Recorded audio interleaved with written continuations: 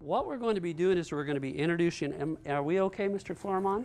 I see a red light flashing. We are going to be introducing a new tool to you. The reason why you need tools is because as a computer tech and as a network tech, you are going to have to understand how to deal with quick resolution of connectivity problems. Uh, besides printer, uh, being able to troubleshoot network connectivity problems is your number one issue. Tools like this can help you resolve network connectivity issues very, very quickly. These are not inexpensive. Uh, we'll be talking about how much they cost, and uh, you could buy a relatively nice used car for one of these. Um, so this is not something for you young men who like to lose things. This would not be good to lose.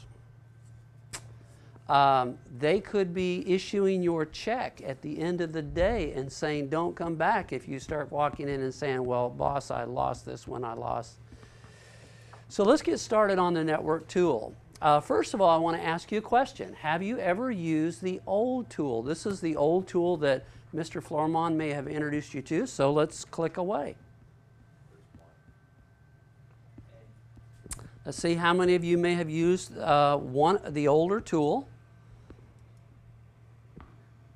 Okay, so about 75% of you have possibly used. 25% were probably lying. They wouldn't lie, Mr. Florimon, would they? Likely. Okay. So um, let's go. Let's let's move on. This is the uh, this is the way it looks, and we're going to walk through how to how to begin to understand when you hold this in your hand, you hook it up into the network. What is it all going to mean? So this is some of the pieces and parts. We've got LEDs on both sides. We're going to have a display that we're going to learn that that's one of the most important pieces and parts of it. We're going to have a power button. We're going to have navigation. We're also going to have some USB connections and other things. So I want you to get comfortable with what it looks like from the front panel. What is this going to do? Well, first of all, it's going to provide diagnostics. It, is a, it has the ability to measure 10, 100, and gigabit connections. Uh, we just submitted a PO to, um, for a, a retrofit of all of our network gear. So we have four network closets, and those network closets are all going to be upgraded with new Cisco network uh, switches and various other types of equipment. That, that PO ran $98,000. So to replace the electronics in a closet like this, this is a typical 19 inch rack, and this is the kind of rack that we typically hold our switches and routers and various other types of network equipment. We have, we have four rooms with this type of equipment in, that's going to be $98,000. And that's with OCPS's discount, that's with um, some refund of money because of the equipment that we're going to trade up, we're going to trade-in dollars, all that. Next very, very important piece that we're going to be using with this tool is we're going to be able to trouble voice over IP. In the upcoming months, uh, Orange County Public Schools is moving very fast to replace the typical telephone with voice over IP telephones. In other words, you'll take your telephone and you'll plug it into the network jack. It will not go into an RJ11, the old POTS, point, uh, a plain old, old telephone system, POTS, but now we'll be plugging it into the network. For a lot of you that don't realize, network is most important. You have been studying with Mr. Florimon about network. I can't tell you how important network is. The more you know about network, the more you know about IT. The less you know about network, the less, the less you understand about information technology. Everything is network. Uh, we spent, um, last week we spent training in security, network security, and everything that we studied concerning wireless and security is based on understanding of network. Okay? We're also going to learn how to use power over Ethernet. One of the things that we're doing is we're replacing switches. Uh, in the past, if I was to connect a PC to a switch, it provided me only network data, only network data. We are now moving to power over Ethernet. We're moving to power over Ethernet, which is going to provide both network data as well as electrical power. For example, USB.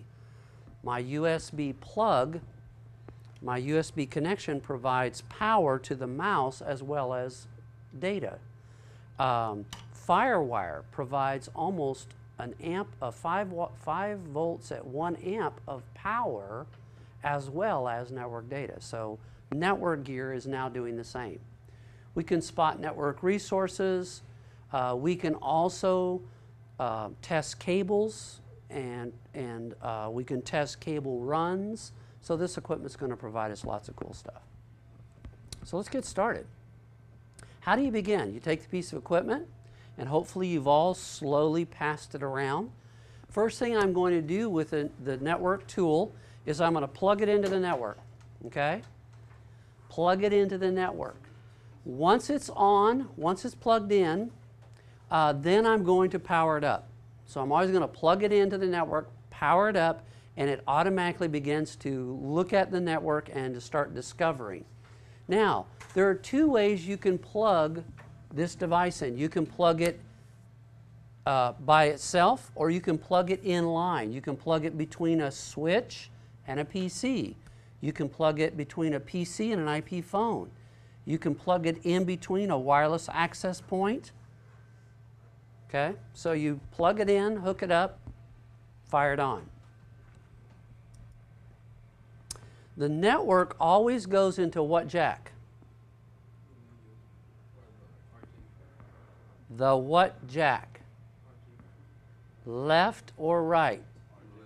All right, watch out for that one. Now you also have a mini USB that allows you to take a CD, connect it, uh, load the software onto your desktop, and you can actually plug the, the tool up to your desktop, upload reports, download data, so you can move data back and forth between the tool and your desktop if you need to.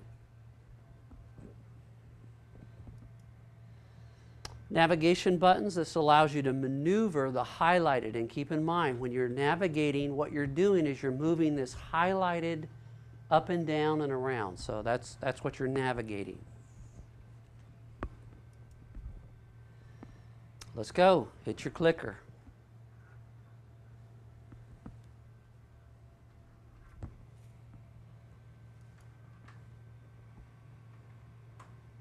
Wow, Mr. Florimon. I'm impressed.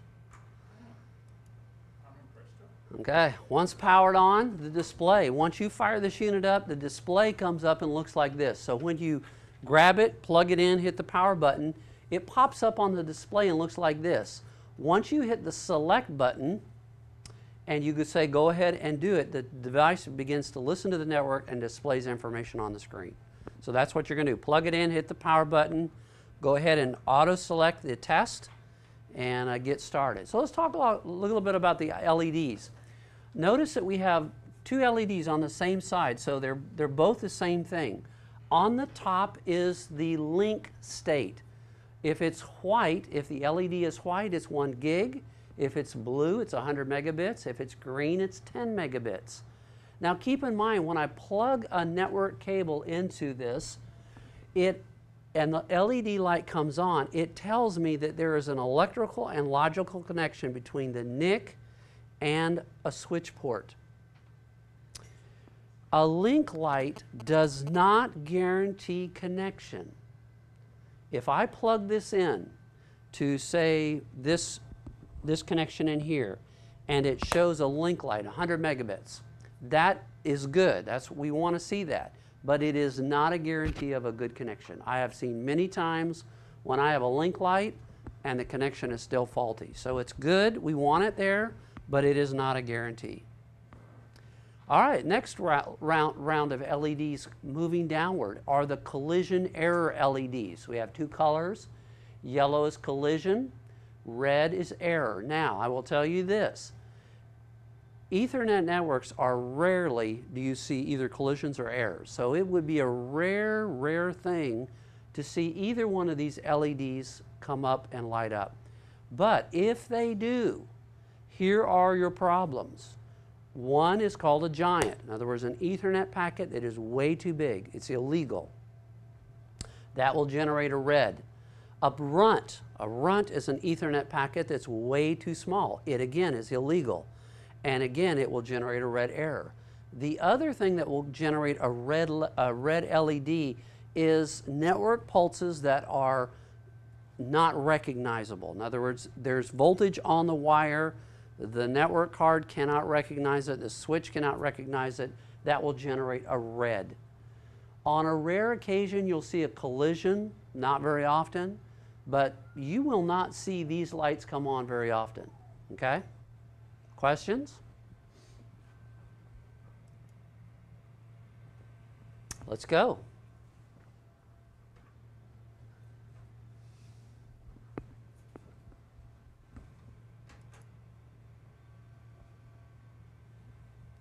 What do we got? 100%? 11% hit B? Mr. Florimon. I, knew, you know, you put boys with clickers in here, you're going to get all kinds of stuff. It's a rough day for some of them. All right. Now, the last set of LEDs is utilization. Utilization can be three colors, three colors. So we can have green, yellow, or red. These are called tricolor LEDs. Utilization is the measurement of capacity. How much network capacity do you have? Ethernet, it's very important to understand this. Ethernet basically is at saturation at 45 to 55%. So if, will I ever see a red? Probably not. But if you see yellow, you are wiped. If that yellow LED comes on in utilization, trust me, nothing's coming in and nothing's coming out because you're already saturated. So we do have green, we do have yellow, and we do have red. But understanding that Ethernet is basically at saturation at between 45 and 55 percent means that if you see a yellow, you're there, okay? For all practical purposes, you're already saturated.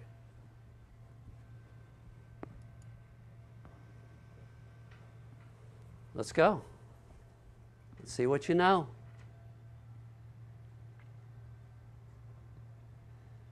Oh, Mr. Florimon, I'm, I'm, I'm seeing brains begin to churn. Oh, yeah. Are we done? All right, I'll give you a few more seconds.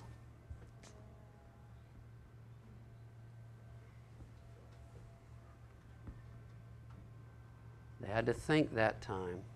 All right, let's go. Let's see what we did. Ouch.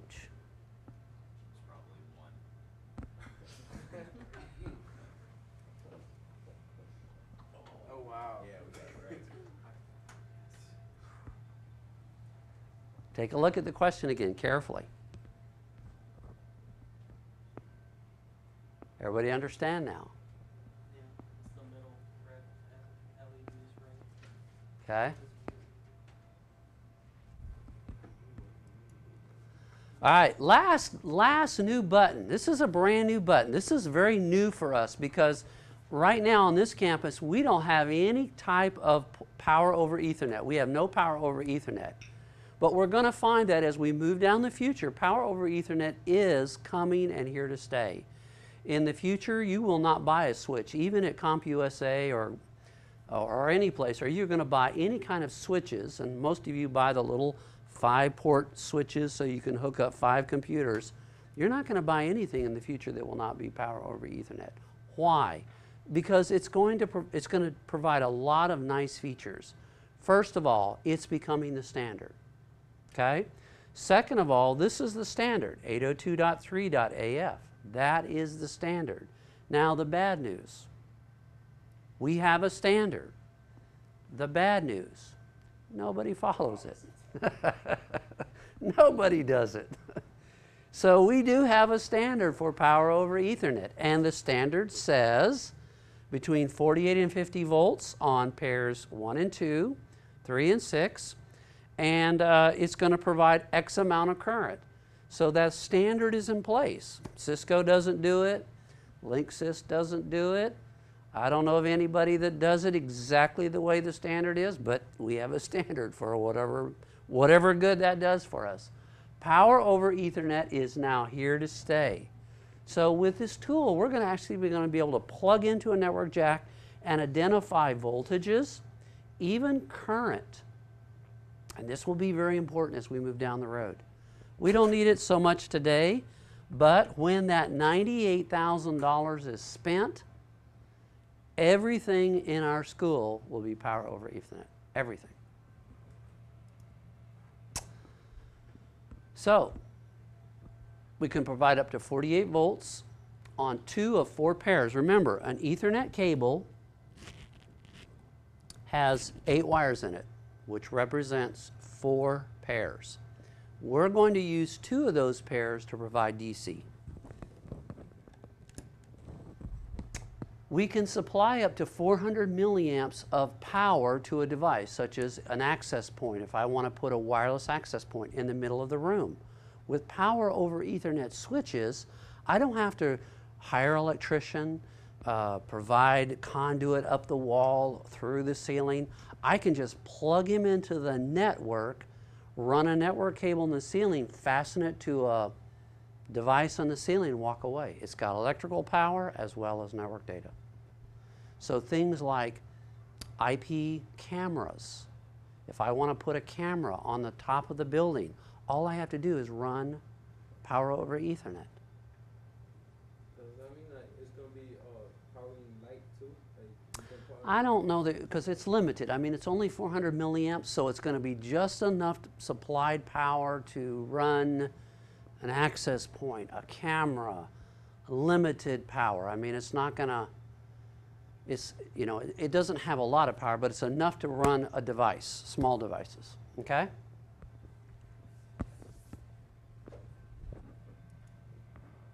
How do we hook this device up? Well, here's a common way. This is inline. In other words, this is one way you can hook up the tool. Notice, very interesting, this logical connection.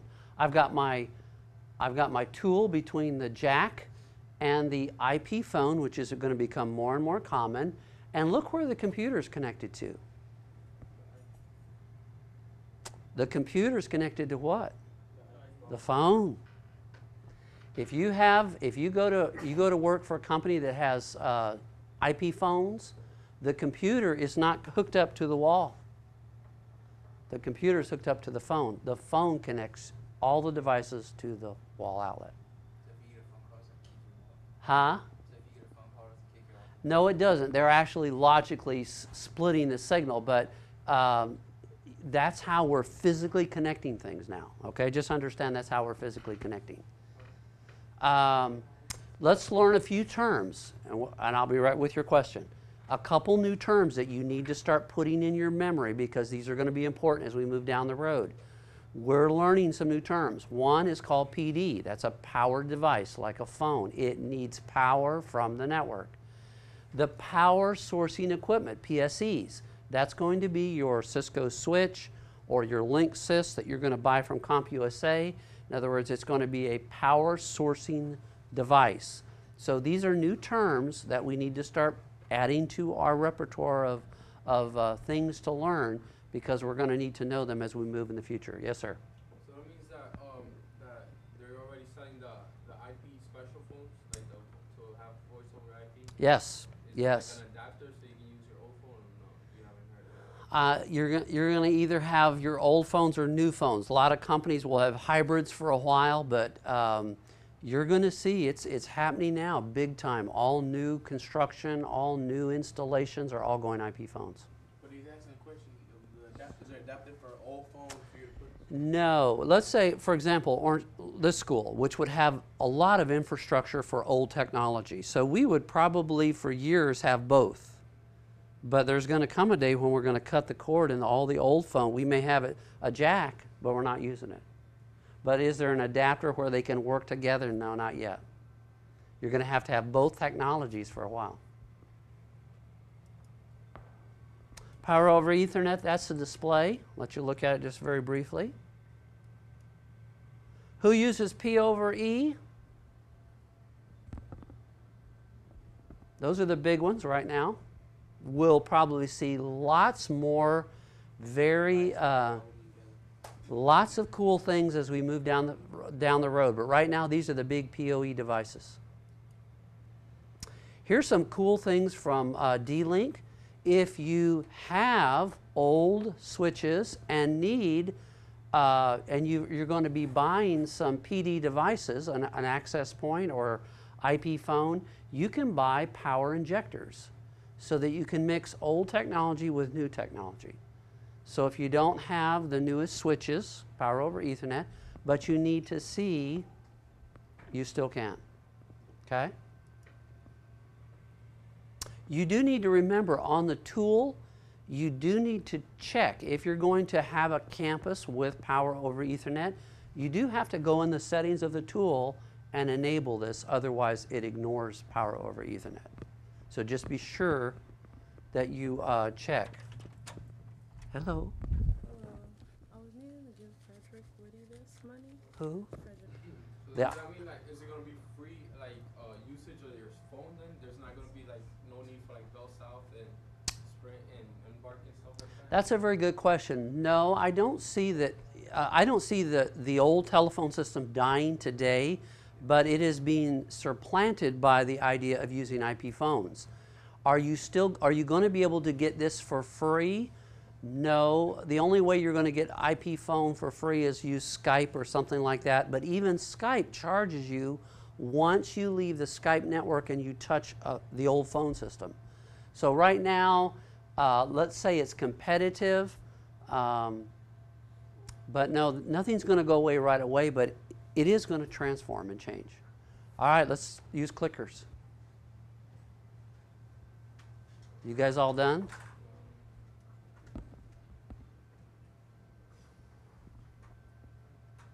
Hmm. Are we ready? Anybody need any more time? Ouch. I'm going to split these boys in half. All right, let's see which one is right. Uh,